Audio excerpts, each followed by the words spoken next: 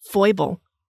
A minor weakness or eccentricity in someone's character.